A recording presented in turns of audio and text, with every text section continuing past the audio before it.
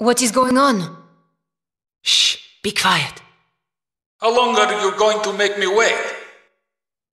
Just a little bit more. Let's see. Ah, here it is.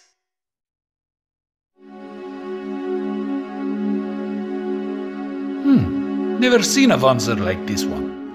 Which country is it from? Uh, the UCS, I think. What do you mean, you think? Well, the menu is missing, so I can't be sure. But it has to be a new model. There shouldn't be that many of them on the market, so you should be able to get a very good price for it.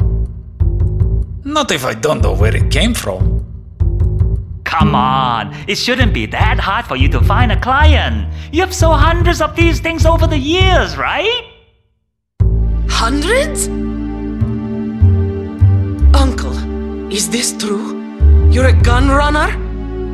Latona, this is none of your business. Yes, it is. What you're doing here is no different from what Zaftra is doing now. You left this country years ago. How could you understand what goes on here? I do understand. I know that this was the only way for you to take care of your people. And I know why Zaftra is doing all this. But I can't turn a blind eye to it. And who are you? Me? Nobody.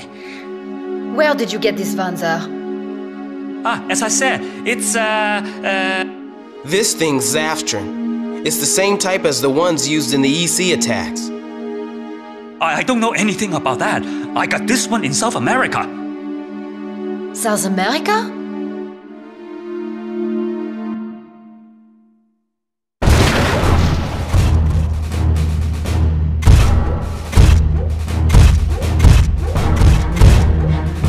The Zaftran army!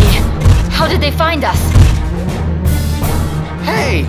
You didn't turn this thing on, did you? Huh? Yes, of course. When I brought it into the warehouse. Yeah, well, you must have triggered its automatic homing signal. Ah! What are you doing, Latona? Take your uncle outside! Wait, Mr. Sergei, where's our gear? Two blocks north of here, in Warehouse 7. Two blocks north, got it. I'll go ahead and ready the Wanzers. You guys go wake up the people in the office. But we need a ship to get out of here. We can take his. Huh? My ship? Alright, be careful. I haven't let you down yet, have I?